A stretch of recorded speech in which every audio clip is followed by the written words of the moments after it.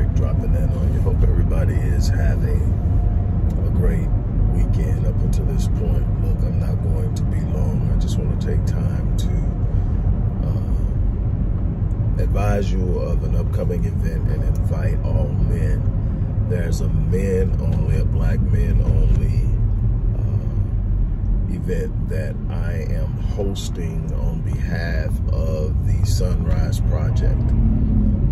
Um, it is on uh, April 18th, which is a Thursday at 7 p.m. Eastern Time. Uh, this is going to be a safe space. This is for all black men, regardless of age, come out and literally have these conversations that we need to have about our mental health, emotional health, by unrealistic expectations, about the stress that we encounter, about the pressures that we face, about the stereotypes that we encounter and have to fight off have to outlive daily, and so many other things that we really and truly don't have a space. And it's starting to show up in a spike in suicides. It's starting to show up in an, uh, an increased number of psychotic breaks. It's starting to show up in levels of performance and this is going to be a reality. This is things that I've written on literally for years. These are things that I've shared on, I have introduced studies on, and so much more. But this is going to be an informal encounter.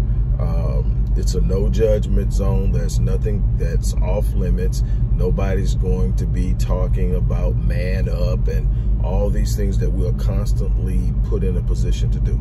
I don't have a problem with a man up mentality. What I have a problem with is thinking that just simply manning up is going to produce the best version of yourself. Manning up is about standing up in your responsibility, making sure that you're completely whole and healthy means that there has to be a time where you decompress. No, nothing holds an infinite amount of pressure. Absolutely nothing. It will pop, it will explode, it will burst. And you are no different. So then we have to find a way to deal with the microaggressions that are pretty common um, when it comes to being a black man, the things that we have to deal with in uh, the ongoing gender war with our own women and how we can be catalysts to healing and mending and uh, repairing the breach, but also understanding uh, and acknowledging and being okay with acknowledging our own hurts.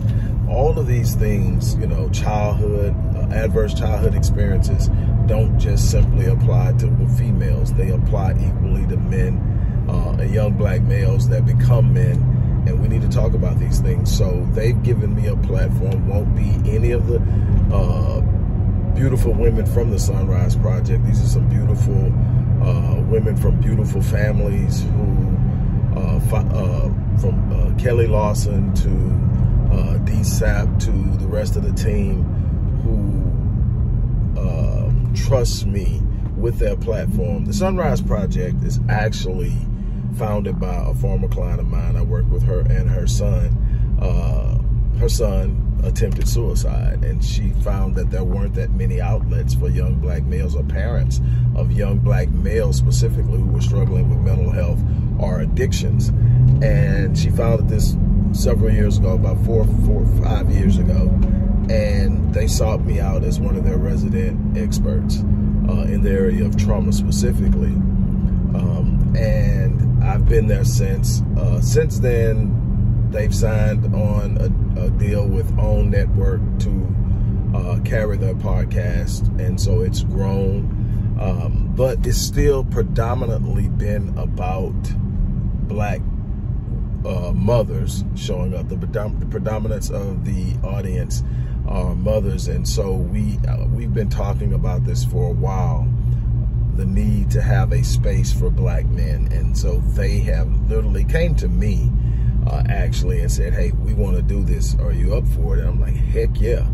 And, and so we are going to do this again. And this is a pilot. So if it is successful, if we can get traction in it, if it shows that it has the capacity to provide some positive influence, this will be an ongoing thing and it will obviously evolve into the best version of itself over time. But again, I want to stress the importance of black men showing up. So if you are a black man, the link to register will be in the description box.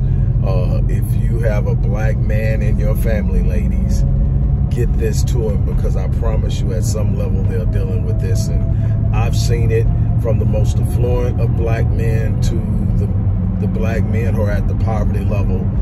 The stressors are there. Uh, feelings of inadequacy are there.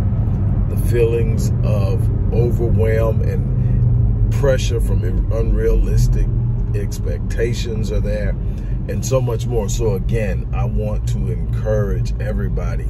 Uh, this event is, an, I believe, an hour, hour and a half tops. But we're going to get on there. We're going to talk about it. We're going to open up.